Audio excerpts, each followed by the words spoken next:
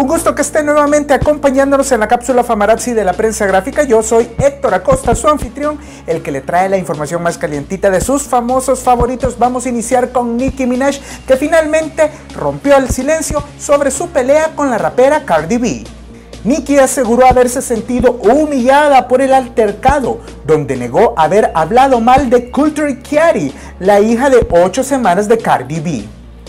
Solo quiero que la gente sepa, dijo, que Okina Tania Mara nunca, nunca hablará mal del niño de nadie. Yo no soy una payasa. Ese es el verdadero nombre de Nicki Minaj. Ella también pasó a aclarar por qué esperó unos días para hablar sobre el incidente. Y con estas palabras lo dijo, soy una perra tan malvada que ni siquiera sentí la necesidad de defenderme esa noche. Como vemos, esta rivalidad entre estas dos va a seguir por bastante tiempo. Bueno, y lo hemos visto innumerables veces y que cree Kim Kardashian ha dicho de que le molesta completamente el trasero que tiene. En la más reciente temporada de reality Keeping Up with the Kardashian, su hermana Kourtney comentó que el trasero de Kim luce inmenso. Al escuchar estas palabras, la matriarca del clan Kardashian, Kris Jenner, protestó. Ante la sorpresa de Kourtney y de Kris, Kim reveló que la verdad del caso es que no le gusta tener el trasero tan grande. Dijo con estas palabras, no me gusta, todos los días lloro por esto. ¿Ustedes qué creen?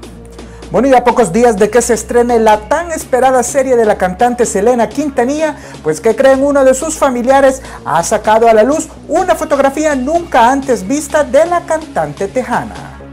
El hermano de Selena, A.B. Quintanilla, reveló este momento íntimo y desconocido hasta el momento de la intérprete de Amor Prohibido. El músico dio a conocer una foto donde aparecen sus hermanas Selena y Suzette, siendo todavía unos adolescentes, y posan al lado de su abuelo Ralph. Todos se ven felices y abrazados. Muchos hablaron sobre lo mucho que cambió cuando creció la cantante y como les decía, su leyenda va a cobrar mucha más fuerza cuando la serie El secreto de Selena se transmita por televisión este mes de septiembre.